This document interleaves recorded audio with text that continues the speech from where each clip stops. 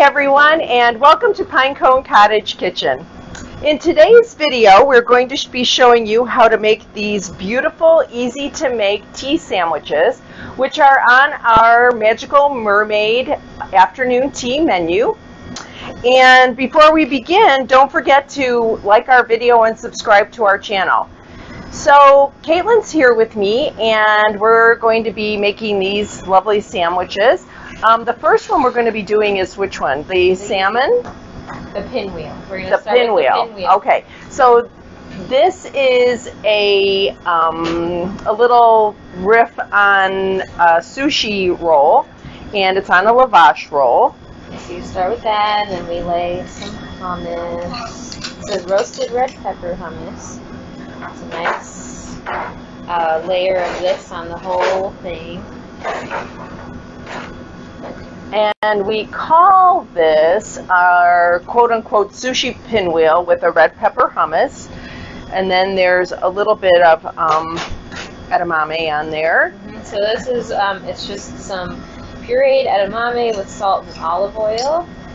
Nice layer of this as well. You don't cook it at all, right? It's We just, just, blanched the, just blanch it a little bit. It's frozen. yeah, just blanched the edamame. A nice layer of this on top as well.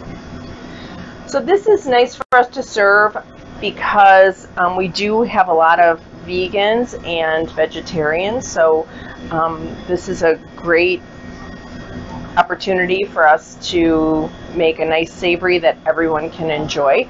And then for our gluten-free people, we can put it on the gluten-free, um, like a gluten-free, it's like a flatbread, isn't it, that we're, we've been using? And then next we take some cleaned leaves of spinach and lay them on the bottom here. And then on top of that, some shredded carrot. We just lay across. And that's just raw carrots. yes, shredded raw carrots.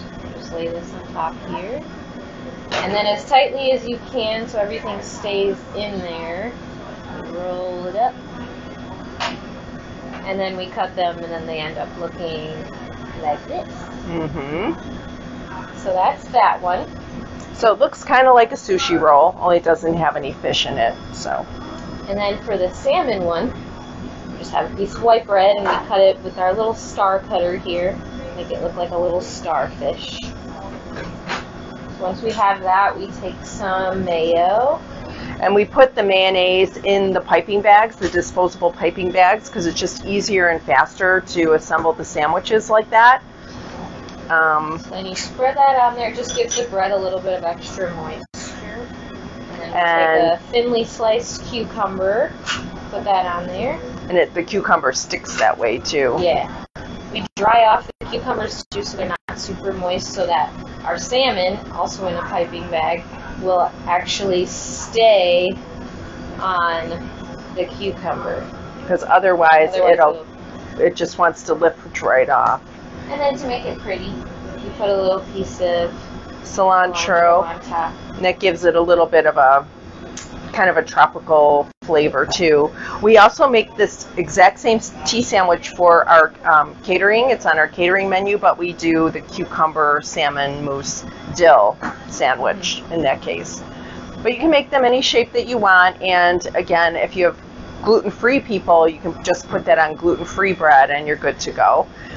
And you can also make it without the salmon. If you have uh, vegetarians, you can make it, just like a cream cheese. yeah, just a cream cheese Yeah. spread. Um, and then the last one that we have here is having fun out there. it's just our. We have some little mini phyllo shells, and then this is just some goat cheese mixed with these herbs. which is uh, herbs de Provence, which Yes. has lavender in it, so it really pairs nicely with the goat cheese. And that's And just a little clamshell bite. Mhm. So yeah, so those are our three tea savories for our Magical Mermaid afternoon tea menu. They're easy to make. You could actually try to make them at home um, if you're having a little tropical tea party. Or you can come and see us, which would be even better. So until we see you again, thank you so much for joining us. Bye!